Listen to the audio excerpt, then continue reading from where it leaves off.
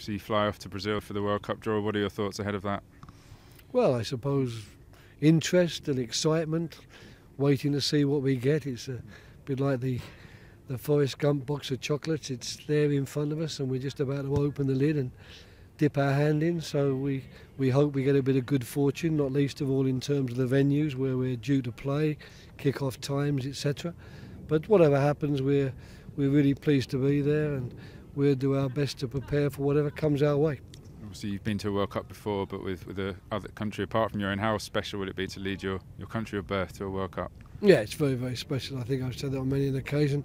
It's a great honour to be asked to manage England. Uh, another great honour to be taking the the team to Brazil after especially having to work so hard to qualify from a difficult qualifying group.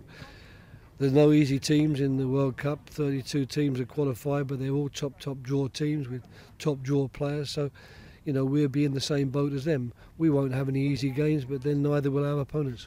Just finally, obviously, the last major tournament you went to with England, you, you didn't have the benefit of having the qualifying campaign. Is that going to help you this time around, do you think?